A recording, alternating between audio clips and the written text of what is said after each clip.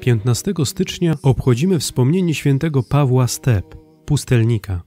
Paweł urodził się w Tebach, starożytnej stolicy faraonów, w roku 228. Za jego czasów Teby były już tylko małą wioską. Pierwsze lata spędził szczęśliwie w domu rodzinnym. Odebrał bardzo staranne wychowanie. Biegle władał greką i egipskim. Wcześniej stracił rodziców i odziedziczył po nich potężny majątek.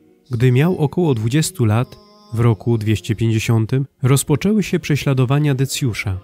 Dowiedziawszy się, że jego szwagier poganin, chcąc przejąć jego bogactwa, planuje wydać go w ręce prześladowców. Paweł porzucił wszystko, co posiadał, odszedł na pustkowie i zamieszkał w jaskini. Prześladowanie trwało krótko, bo zaledwie dwa lata, ale Paweł tak dalece zasmakował w ciszy pustyni, że postanowił tam pozostać na zawsze. Jako pustelnik spędził samotnie 90 lat. Przez cały ten czas zanosił do Boga swe gorące modlitwy, żywiąc się tylko daktylami i połówką chleba, którą codziennie przynosił mu kruk. Kiedy był bliski śmierci, odwiedził go święty Antoni Pustelnik. Tego dnia kruk miał przynieść Pawłowi cały bochenek. Nagość swego ciała od znoju i chłodu chronił Paweł jedynie palmowymi liśćmi. Legenda ta znalazła swoje odbicie w herbie zakonu Paulinów, którzy obrali sobie świętego Pawła Pustelnika za swojego głównego patrona.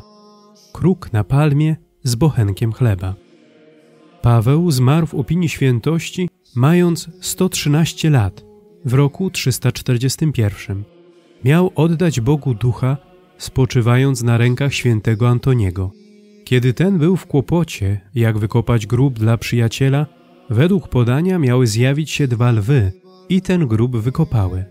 Dlatego również owe lwy znalazły się w herbie Paulinów. Zakon Paulinów czci świętego Pawła, pierwszego pustelnika, jako swojego patrona. Czcią darzą go także piekarze i tkający dywany. W ikonografii święty Paweł Pustelnik przedstawiany jest w tkanej sukni z liści palmowych. Jego atrybutami są kruk z chlebem w dziobie, lew kopiący grób oraz przepołowiony bochenek chleba. Módlmy się. Boże, Ty sprawiłeś, że święty Paweł na pustyni osiągnął świętość.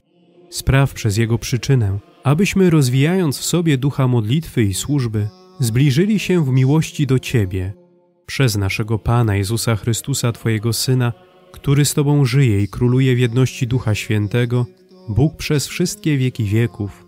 Amen.